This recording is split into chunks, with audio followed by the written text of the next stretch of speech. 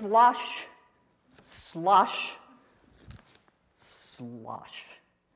Each of us is a walking river, held together by paper thin skin. We are water. We are blood. We are tears. And we are urine. We are all connected. We are not separate from the waters of the world. Here in Colorado, in particularly in this part of Colorado, our external watershed is Beaver Creek, but our internal watershed is this urine, fresh from this morning. It's something each of us do every single day, and we hardly ever talk about it. I have been passionate about water for over 30 years and have explored this element through my art. All of the examples that you'll see tonight are my artwork. We are the language of salmon bones. We are the book of drought. We are turquoise waters flowing to the sea. Rivers are alive. They're just as alive as you and me, each one of us. They have a mouth called a delta, a body called a watershed, and they have a circulatory system. Even glaciers have tongues. These glaciers are melting very rapidly. They are receding up mountainsides. This is the Nisqually Glacier on Mount Rainier. When that glacier recedes all the way up the mountain, what's going to happen to that Nisqually River? In order to make this visible, I carve books out of ice and embed them with native riparian seeds. These are time-based ephemeral sculptures. The seeds form an international ecological language, a restoration text, a language of the river.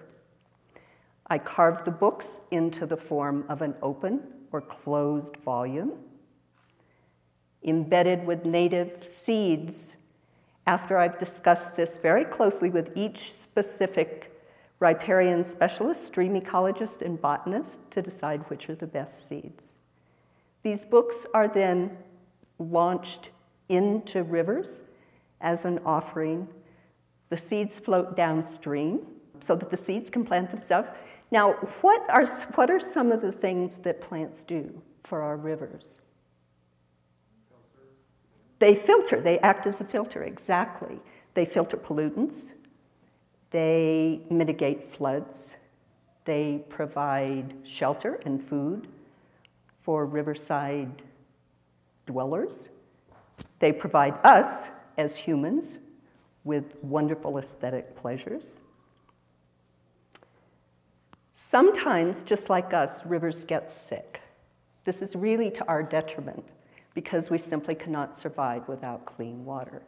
This makes me really sad Sometimes the pollution is very visible, such as this gyre of pollution floating in the river Scheldt in Antwerp, Belgium.